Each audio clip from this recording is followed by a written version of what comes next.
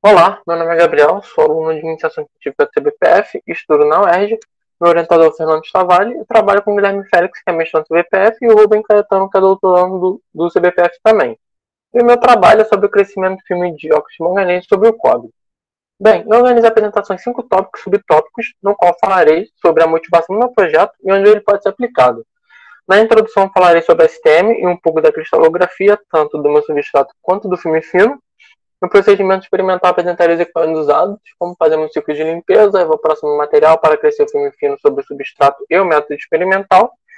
E por fim, nos resultados, irei apresentar os dados obtidos do cobre na orientação 111 e o filme crescido de óxido de manganês sobre o substrato, concluindo os resultados com as perspectivas futuras. Bem, a minha motivação em estudar física de superfícies é compreender ao máximo em como os filmes finos são formados na interface com o substrato é, pois os mesmos ainda possuem propriedades compreensíveis, já que as propriedades da superfície são diferentes das propriedades apresentadas pelo book, onde seria o volume do material. E um dos materiais interessantes para estudar as superfícies são os óxidos de metais de transição, são chamados TMO, do inglês Transition Metal Oxide, pois eles possuem propriedades físicas e químicas no qual os elétrons de valência preenchem o orbital 3D, que são motivos para serem estudados, porque a superfície do semicondutor possuem mais elétrons livres que possam preencher lacunas na banda de valência dos óxidos, já que estes são classificados como isolantes. E, bem, os TMOs possuem diversas aplicações, como para energia renovável, estamos na produção de painéis solares na figura 1. Na introdução, temos a produção de um filme apresentado na figura 2. E já no meu caso, o projeto é focado na, na produção de energia renovável. Bem, eu uso a técnica de microscopia de varredura por tunelamento, o STM, que é do inglês é, Scanning Tunneling Microscope, é, em que ele, é, já no caso, tem dois eletrodos postos entre si, e a mecânica clássica não explica o, o comportamento do elétron nessa situação, porque eles trabalham o elétron como uma partícula. E a mecânica quântica, a, o elétron acaba sendo observado como um, uma função de onda, né? Então, já no caso, é, o elétron ele sai de um eletrodo, atravessa, a barreira de potencial, chegando no outro eletrodo, e já no caso esse efeito é, pode ser denominado como efeito túnel, ou seja, quando o elétron sai de um eletrodo, atravessa a barreira de potencial e, e chega em outro eletrodo, uma determinada função de onda, pode ser classificado como efeito túnel. E quanto menor a distância entre os eletrodos, menor será a barreira de potencial.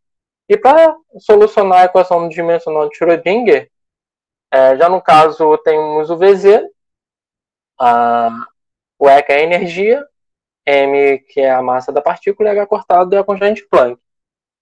É, bem, já no, é, já no caso, o, analisando a, a, imagem, o VZ vai ser zero tanto na ponta quanto na superfície, e a solução só vai ser resumida para a barreira exponencial. E e, resolver, e, faz, e fazendo a solução para essa equação e as devidas aproximações, eu vou encontrar aproximadamente esse coeficiente de emissão, que seria a probabilidade dos elétrons tunelarem de um eletrodo para o outro, e, e, a, e, será, e a corrente de tunelamento vai ser proporcional ao coeficiente de emissão. Tanto é que ele vai se depender da exponencial, e como os elétrons saem dos estados ocupados de um eletrodo e vão para os estados desocupados de outro eletrodo, então acaba sendo proporcional à tensão também. É, já no caso, o, o cobre 111, porque geralmente usa esse tipo de configuração na literatura, e o cobre possui uma distância teratômica de 2,53 angsons, um parâmetro de rede de 3,58 e uma, ele possui uma estrutura CFC cúbica de face centrada, e ao lado representa a orientação do plano 111. O óxido de manganês também possui uma estrutura CFC com distância interatômica de 3.11, com parâmetro de rede 4.4, e ao lado apresenta o plano no qual o MNO cresce, que são 110, 001, 111. O corte do plano 001 é o mesmo para o plano 100 e 010. É, tá, e o equipamento que eu uso é uma câmera de ultra alto vácuo, em que eu tenho dois canhões sputtering, um para a ponta da STM e outro para a amostra, ou tem um Obuchique, que é um, um baixão que eu uso para fazer para transferir a amostra do braço de transferência ou para o manipulador ou para o sistema para fazer análise de imagem. Eu tenho um manipulador que é onde eu tenho o, o meu filamento para fazer o aquecimento da amostra. Tenho três evaporadoras, uma de manganês, outra de cobalto e outra de prata. E eu tenho STM para poder fazer análise do, do meu substrato com ou sem filme fino e tem a linha de gás em que eu posso colocar argônio na câmara para poder fazer o processo de sputtering ou eu quero crescer um filme com o oxigênio.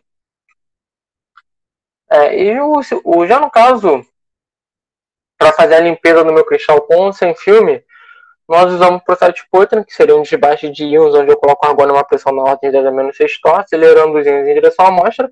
E como vocês podem ver aqui na imagem, é, é, essas bolinhas de rotação impurezas e com um desbaixo eu acabo fazendo com que essas bolinhas se desliguem da superfície. E com um processo de anilha, que seria um tratamento térmico, onde eu uso o filamento tungstênio no manipulador, a, acaba acelerando os elétrons em direção à amostra, fazendo com que a sua, a sua temperatura varie, se aquecendo, e deixe a superfície plana, homogênea, né? Você pode ver que tem menos impurezas na, com esse processo. E o processo de evaporação nós usamos o método de crescimento de filme por feixe de elétrons, que é o EBE, do inglês Electron Beam Evaporation, onde eu uso alta voltagem e aqueço o filamento variando a corrente.